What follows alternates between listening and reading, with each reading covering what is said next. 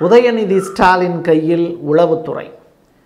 இன்னைக்கு இருக்கக்கூடிய நாட்டின் சுச்சுவேஷன் ரொம்ப மோசமான ஒரு நிலையில் இருக்குங்கிறத புரிஞ்சுக்க வேண்டிய தேவை இருக்குது காரணம் என்ன அப்படின்னா அமலாக்கத்துறை அதிரடியாக உள்நுழைந்து நாம் ஓட்டு போட்டு தேர்ந்தெடுத்த ஒரு எம்எல்ஏ எம்எல்ஏவுக்கு மேலே போஸ்டிங்கில் இருக்கக்கூடிய அமைச்சர்கள் அந்த அமைச்சர்கள் வீட்டில் நடக்கக்கூடிய ரைடு நீங்கள் தேர்ந்தெடுத்த உறுப்பினர்கள் குற்றவாளிகள் அப்படிங்கிறத சுமத்தக்கூடிய குற்றம் சுமத்தக்கூடிய வேலையை அமலாக்கத்துறை தீர்க்கமாக செஞ்சுக்கிட்டு இருக்கு.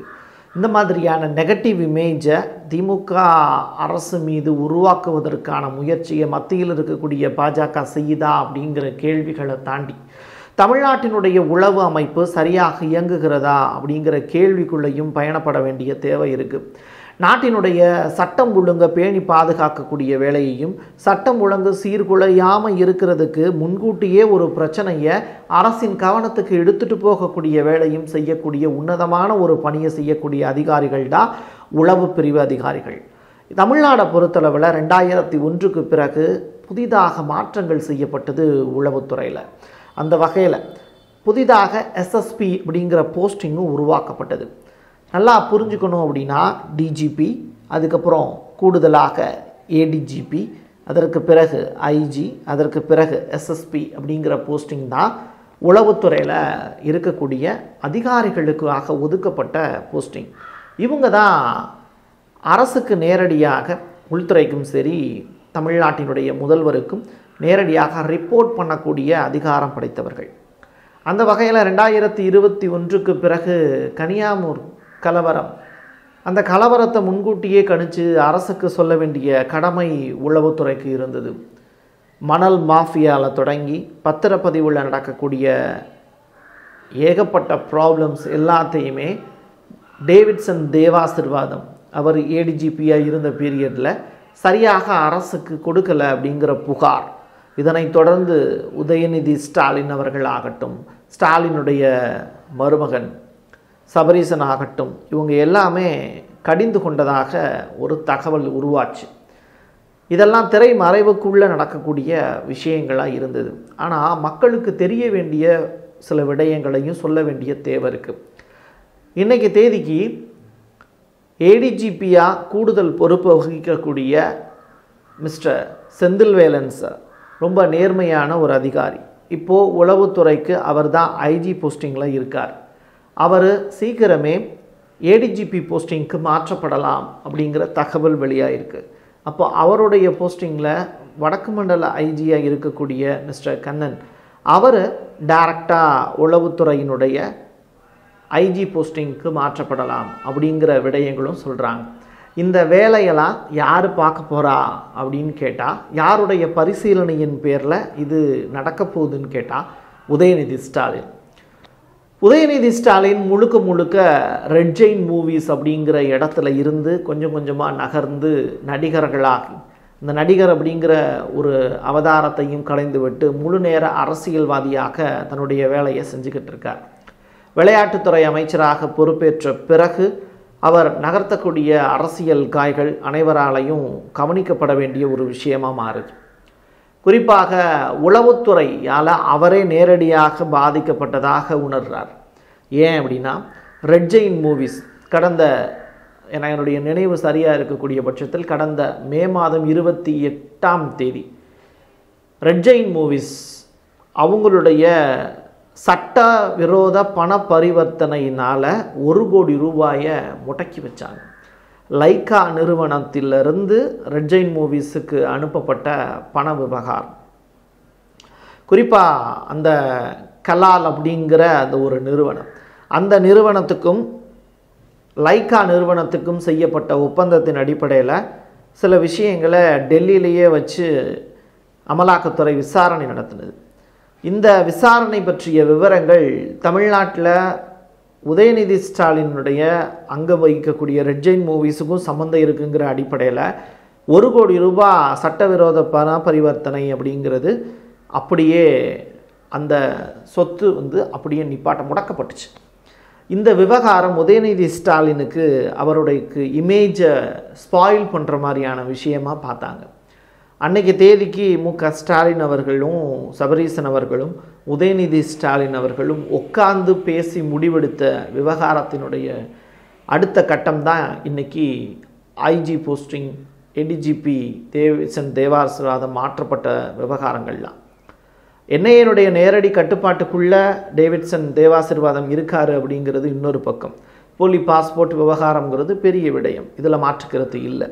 ஆனால் அவர் அந்த வேலையை எடிஜிபியாக இருந்தப்போ டேவிட்சன் தேவாசிர்வாதம் சரியாக இயங்கவில்லை அப்படிங்கிற புகார் தொடர்ச்சியாக வைக்கப்பட்டால் மு க ஸ்டாலின் அவர்களுடைய கரிசன பார்வை அப்படிங்கிறது அவர் மேலே இருந்தது அப்படின்னு சொல்கிறாங்க இன்றைக்கி தேதிக்கு உதயநிதி ஸ்டாலின்ட்ட அந்த பவரை கொடுத்துருக்காங்க அப்படின்னு சொல்லப்படுது.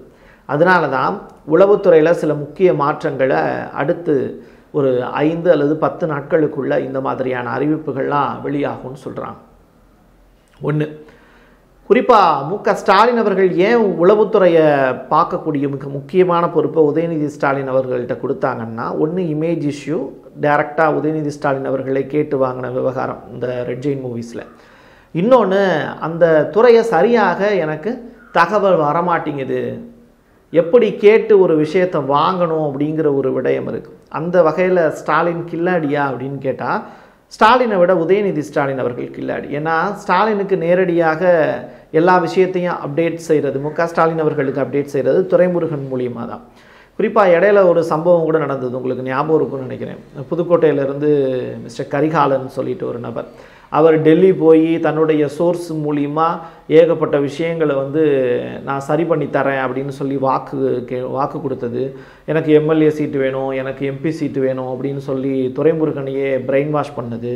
இப்படி ஏகப்பட்ட விஷயங்களை வந்து கரிகாலன் செஞ்சுக்கிட்டு இருந்தார். இந்த விஷயங்கள் எல்லாமே உளவுத்துறை மூலியமாக வந்து மு க ஸ்டாலினுக்கு டைரெக்டாக போய் சேர்ந்துச்சா அப்படின்னு கேட்டால் கிடையாது. அப்போது துரைமுருகன் அவர்களே சில விஷயங்களை மு க ஸ்டாலின் அவர்கள்ட்ட சொல்லலை அப்படிங்கிற ஒரு கோபமும் வருத்தமும் மு க ஸ்டாலின் அவர்களுக்கு இருக்குங்கிறாங்க. பொன்முடி அவர்கள் வீட்டில் வந்து ரைடு நடத்தினப்போ இடி ரைடு நடத்தினப்போ அந்த விஷயங்கள் வந்து முன்னக்கூட்டியே துரைமுருகன் சார் அவர்களுக்கு தெரிந்ததோ தெரியாமல் இருக்கோ அப்படிங்கிறதுலாம் நமக்கு தெரியாது. ஆனால் அவர் பத்திரிகையாளர்களை சந்தித்து பேட்டியளித்த விதம் அப்படிங்கிறது திமுகவினரே ரசிக்கலை அப்படின்னு சொல்கிறாங்க பொன்முடி அவர்கள் கைது செய்யப்பட்ட கைது செய்யப்பட்ட அப்படிங்கிற வார்த்தை வந்து இனிமேல் நடக்கும். ஆனால் அதுக்கு முன்னாடி அவருடைய வீட்டில் வச்சு அவரை விசாரிக்கும் போதும் சரி செந்தில் பாலாஜி அவர்களுடைய வீட்டில் போய் அவரை வந்து இரவு பகலாக விசாரணை நடத்தும் போதும் சரி ஆர்எஸ் பாரதி அவர்கள் மட்டும்தான் முக்கியமான ஒரு இடத்துல களமிறங்கி அவருக்காக போய் நின்றுது. அவர் மட்டும்தான் திமுக சைட்லேருந்து இந்த ரெண்டு பேருக்காகவுமே மு க ஸ்டாலின் சொன்னதின் அடிப்படையில் போய் நேரடியாக போய் நின்றார்.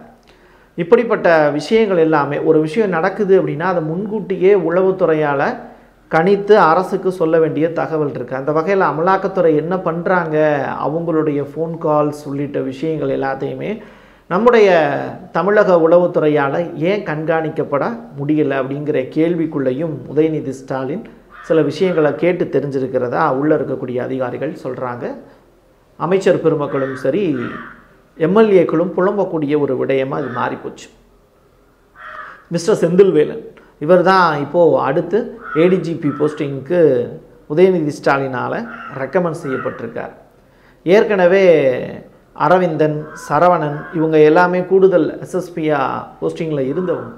இவங்க எல்லாமே சரிவர இவங்களுடைய வேலையை செஞ்சுக்கிட்டு இருக்காங்களான்னு கேட்டால் அதிகாரிகள் மத்தியில் சில தடைகள் அவங்களுக்கு இருக்கிறதாகவும் அந்த பேரியர் எல்லாத்தையுமே உடைக்கிறதுக்கு உதயநிதி ஸ்டாலின் அவர்கள் மூன்று பேர் கொண்ட டீம் ஒன்றை உருவாக்கியிருக்காரு அப்படிங்கிற மாதிரியான தகவலும் வெளியாகிருக்கு இந்த மூன்று பேர் கொண்ட டீமு இந்த உளவுத்துறை அதிகாரிகள் போலீஸ் ஆஃபீஸர்ஸ்க்கு அரசுக்கிட்ட நேரடியாக சில விஷயங்களை கொண்டு போய் சேர்க்கறதுக்கு தடையில்லாமல் செய்கிறதுக்காக உதயநிதியினுடைய நேரடி கட்டுப்பாட்டின் கீழே இந்த வேலைகளை செஞ்சுக்கிட்டு இருக்காங்க அப்படிங்கிற தகவல் வெளியாயிருக்கு.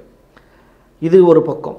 இது எல்லாத்தையும் தாண்டி டிஜிபி சங்கர் ஜிவாலுடைய நடவடிக்கையையும் நம்ம உன்னிப்பாக பார்க்க வேண்டிய தேவை இருக்குது தொடர்ச்சியாக நாடாளுமன்ற தேர்தல் வர்றதுக்கு முன்னாடியே தமிழ்நாட்டில் சட்டம் ஒழுங்கு பிரச்சனை அப்படிங்கிறது நிச்சயமாக வராமல் இருக்கிறதுக்கான வேலைகள் எல்லாத்தையுமே டிஜிபி சங்கர் ஜிவால் செஞ்சுக்கிட்டு இருக்காங்க அப்படிங்கிற தகவல் வெளியாயிருக்கு. மாவட்ட வாரியாக இருக்கக்கூடிய ரவுடிஸோட லிஸ்ட்டு அவங்கள நேரடியாக கூப்பிட்டு அவங்க மீது இருக்கக்கூடிய வழக்கு. இப்படி ஒட்டுமொத்தமாக எல்லா தகவலையுமே திரட்டியிருக்காரு டிஜிபி அது மட்டும் இல்லாமல் ஏற்கனவே டேவிட்சன் தேவாசிர்வாதம் அவர்களுடைய ஆட்கள் எல்லாம் உளவுத்துறையில் யார் யாரெல்லாம் இருக்கா அப்படிங்கிற விவரங்கள் எல்லாத்தையுமே சேகரித்து அந்த அதிகாரிகள் எல்லாத்தையுமே மாற்றக்கூடிய படலத்தை உதயநிதி ஸ்டாலின் மூலியமாக டிஜிபி சங்கர் ஜிவால் அவர்கள் செய்ய போகிறாரு அப்படிங்கிற விடயங்களும் வெளியாயிருக்கு. ஒட்டுமொத்தமாக காவல்துறையில் ஒரு பெரிய ரீஷஃபில் இருக்கும் அப்படின்னு சொல்கிறாங்க இங்கே இருக்கக்கூடிய தொழிலதிபர்களை நேரடியாக அமலாக்கத்துறை டார்கெட் பண்ணல. மக்களால் தேர்ந்தெடுக்கப்பட்ட அமைச்சர்களை தான் டார்கெட் பண்ணுறாங்க அப்போது உளவுத்துறைக்கு முன்கூட்டியே அமலாக்கத்துறையினுடைய நடவடிக்கைகளை தெரிஞ்சு வச்சுருந்தாங்க அப்படின்னா அரசுக்கு அதனை செயல்படுத்துவதற்கான ஒரு வாய்ப்பு கிடைக்கும். அந்த வகையில் உளவுத்துறை செயல்படுதா அப்படிங்கிற கேள்வியும் கேட்க வேண்டிய தேவை இருக்குது இது எல்லாமே உதயநிதி ஸ்டாலின் அவர்கள் உளவுத்துறையை தன்னுடைய கட்டுப்பாட்டுக்குள்ளே வைக்கும்போது சரியாகும் அப்படின்னு நம்புகிறாரு மு க ஸ்டாலின். காரணம் என்ன அப்படின்னா செந்தில் பாலாஜி அவர்களுடைய கேஸ் பொன்முடி அவர்கள் மேலே ஈடி தொடுத்திருக்கக்கூடிய வழக்கு. இது எல்லாமே அரசுக்கு புதிய புதிய தலைவலியாக இருக்கும்.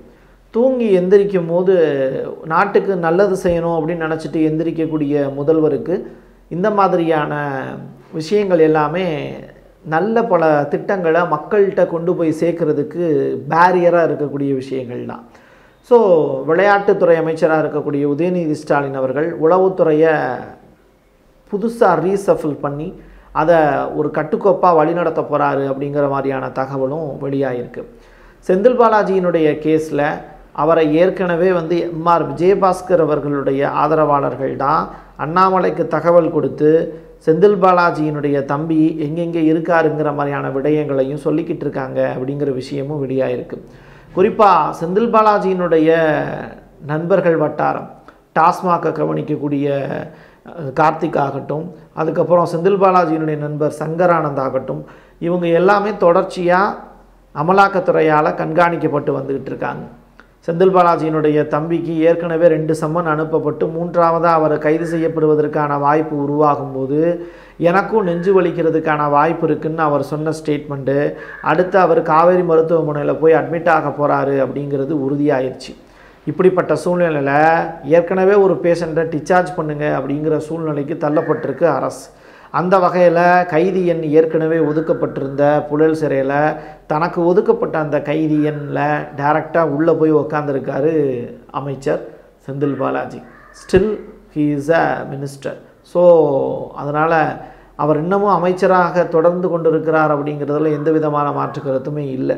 ஆனால் அமைச்சர் பெருமக்களை சுற்றி நகரக்கூடிய இந்த வேலைகளை ஆளக்கூடிய அரசு ரசிக்கலை. அதே நேரத்தில் உளவுத்துறையிட்ட இருந்து சரியான தகவல்கள் நமக்கு ஏன் வரமாட்டேங்குதுங்கிறத முதல்வர் மு க ஸ்டாலின் அவர்களும் கடிந்து கொண்டதாக சொல்லப்பட்டு தான் இப்போது உதயநிதி ஸ்டாலின் அவர்கள்ட்ட இந்த உளவுத்துறையை புதுசாக ரீசஃபில் பண்ணக்கூடிய வேலைகளை செஞ்சுக்கிட்டு இருக்காங்க.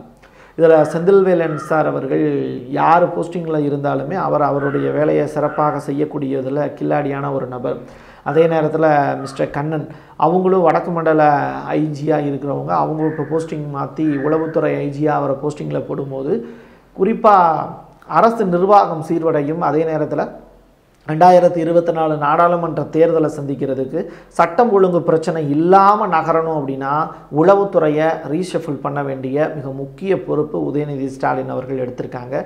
அந்த வகையில் சட்டம் ஒழுங்கை பேணி பாதுகாக்கக்கூடிய வேலையிலையும் அரசு இயந்திரம் சரியாக இயங்குவதற்கு குறிப்பாக மணல் மாஃபியாக்கள் செய்யக்கூடிய திருட்டு வேலைகள் அதுக்கப்புறம் பத்திரப்பதிவு துறையில் நடக்கக்கூடிய விஷயங்கள் காமராஜ் கே சி வீரமணி இவங்கெல்லாம் லஞ்ச ஒழிப்புத்துறை கொடுக்கக்கூடிய சப்போர்ட்டு இந்த லஞ்ச ஒழிப்புத்துறை திரட்டக்கூடிய தகவல் அடிப்படையில் தான் காமராஜெலாம் நூற்றி இருபது கோடிக்கு மேலே வந்து ஊழலில் ஈடுபட்டிருக்கதா சொல்கிறாங்க இப்படி எதிர்த்தரப்பினரை முடக்கக்கூடிய வேலைகளையும் லஞ்ச ஒழிப்புத்துறை தமிழ்நாடு லஞ்ச ஒழிப்புத்துறை செஞ்சுக்கிட்டு இருக்காங்க. இப்படிலாம் இங்கெல்லாம் என்ன நடந்துக்கிட்டு இருக்குது அப்படிங்கிறத உளவுத்துறை மூலியமாக அரசுக்கு கொண்டு போய் சேர்க்க வேண்டிய வேலையை மு க. ஸ்டாலின் அவர்களுடைய மகனான விளையாட்டுத்துறை அமைச்சர் உதயநிதி ஸ்டாலின் அவர்கள் தற்போது கையில் எடுத்து செயல்படுத்துவதற்கு திட்டமிட்டு இருக்கிறார் அவருக்கு வாழ்த்துக்கள் சொல்ல வேண்டிய தேவை இருக்குது இதை ஏன் வந்து முக்கியமாக இது மக்களுக்கு தெரியப்படுத்தணும் அப்படின்னு நம்ம நினைக்கிறோன்னா அமலாக்கத்துறையினுடைய வருகை உளவுத்துறையினுடைய மேம்பாடு தமிழக அரசு நல்ல பல திட்டங்களை செய்கிறதுக்கு தடையாக இருக்கக்கூடிய விடயங்கள் அது எல்லாத்தையும் தாண்டி ரெண்டாயிரத்தி இருபத்தி நாலு நாடாளுமன்ற தேர்தலில் சட்டம் ஒழுங்கு பிரச்சனை இல்லாமல் அரசு சரிவர இயங்கணும் மக்களுக்கு எந்த விதமான பாதிப்பும் இருக்கக்கூடாது அப்படிங்கிறதுக்காக தான் சில உண்மைகளை உடைக்க வேண்டிய காலகட்டத்தில் நம்ம வாழ்ந்துக்கிட்டு இருக்கோம். என்ன என் கையெழுத்து என் மக்களுக்கானது. மீண்டும் ஒரு பதிவில் சந்திக்கிறேன். நன்றி வணக்கம். நிறைய நல்ல தரமான வீடியோக்களை பார்க்கறதுக்கும் அதே மாதிரி செய்திகளினுடைய ஆழம் சென்று தெரிஞ்சுக்கிறதுக்கும் வரலாற்றை பேசுறதுக்கும் கேட்கறதுக்கும் எல்லாத்துக்குமா இருக்கக்கூடிய பிரசாத் சிக்னேச்சர் சேனலை உடனடியாக லைக் பண்ணுங்க ஷேர் பண்ணுங்க கமெண்ட் பண்ணுங்க. மறக்காம சப்ஸ்கிரைப் பண்ணி பெல் ஐக்கானை கிளிக் பண்ணிருங்க.